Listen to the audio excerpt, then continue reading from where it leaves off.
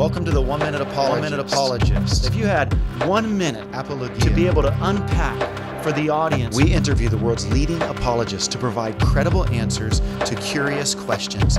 Is the story of Jesus just like Horus? Well, of course it is. Bill Maher says so, right? He goes on The View and he says to millions of viewers that the story of Jesus is just like the story of Horus. So, of course it is. No, actually, the story of Horus is very different. And the important point here is that you should read the story before you say something like that. Horus does not have a virgin birth, he actually rips out of his mother's womb or his mother lays Isis, the goddess, lays with the dead god Osiris in order to um, procreate him. Yeah, that's just like Jesus, isn't it? Um, Horus dies by a death a sting from a scorpion, not not from, you know, sacrificial death for all of mankind.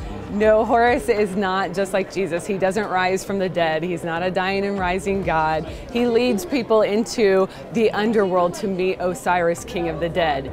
Yeah, that's just like Jesus. So, no, the story of uh, Jesus and Horus do not align, and people should actually read those stories so that they're not led astray by these uh, popular comments from guys like Bill Maher.